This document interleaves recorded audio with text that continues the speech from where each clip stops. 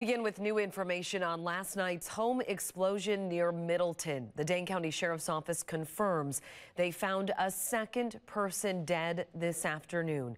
WMTV's Marcus Aarsvold is live in the town of Springfield where we now know two people died.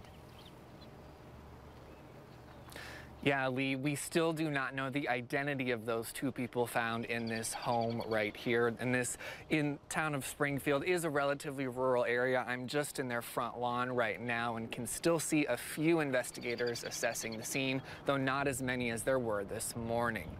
Take a look at this new video we have from a dairy farm security camera across the street from the home on Capitol View Road. It shows the moment the home exploded.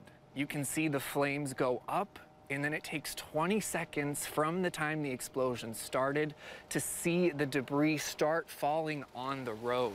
A next door neighbor tells me the explosion sounded like a bomb and shook his whole house. I was sleeping. By the time the explosion had ended, I was standing up. I mean, it shot me right out of bed. I didn't know what had happened. We're still waiting for investigators to share what the cause of the explosion was. For now, live in town of Springfield, Marcus Aarsvold, WMTV 15 News.